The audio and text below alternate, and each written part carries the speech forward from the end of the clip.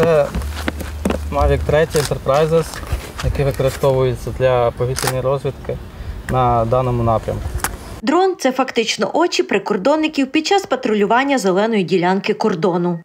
Дальність цього застосування до 7 кілометрів. Акумулятор до 30 минут отримує один. Висоту він може піднятися до 600, 600 метрів, але на даному напрямку він наскільки не використовується, тому що немає в цьому необхідності. Прикордонник каже, запускають дрон, як правило, на висоті 200 метрів та в середньому до 3-5 кілометрів. Цього достатньо, щоб роздивитися тилові підступи. Аби здійснювати аеророзвідку безпілотниками, операторів спеціально навчають.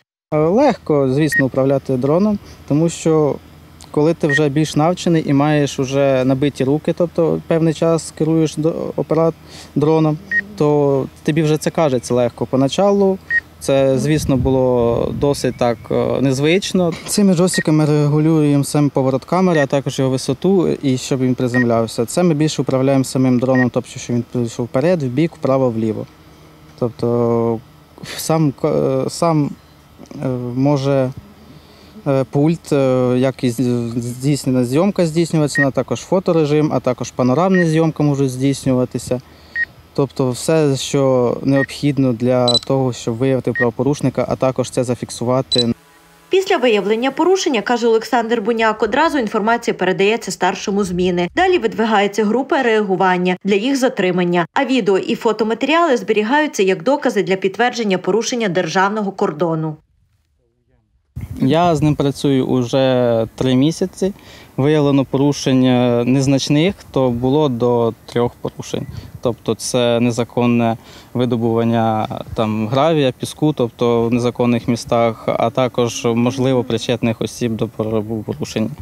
Ухилянти, тобто вони приходять більше в темний час доби, і тобто в містах, де заздалегідь вже працює розвідка, тобто нема в цьому такої великої необхідності. Так як цей дрон не має тепловізійної камери, тобто я не можу використовувати його в нічний час доби. До цього використовуються другі е, люди, які вже з тепловізійними, які направляються на дані напрямки для прикриття його. Такі дрони використовуються для повітряної розвідки у всіх підрозділах Чопського прикордонного загону. Частину закупили самі, решту отримали від благодійних організацій. Активно використовується мала літальна авіація. Це як е, пілотована техніка, так і безпілотні літальні комплекси. Е, Такі літальні комплекси знаходяться на оснащенні у кожному з прикордонних підрозділів, і е, ними керують оператори, які пройшли відповідне навчання.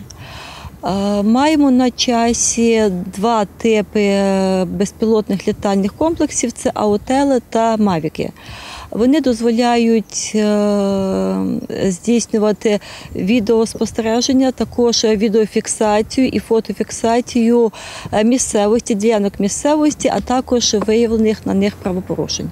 З початку 2023 року е, за допомогою е, безпілотних літальних комплексів було виявлено одне, е, одну спробу порушення державного кордону, а також декілька дрібніших правопорушень, пов'язаних з порушенням прикордонного режиму або режиму державного кордону. Варто додати, мала авіація використовується активно не тільки на Закарпатті, а й підрозділами, які виконують бойові завдання на фронті.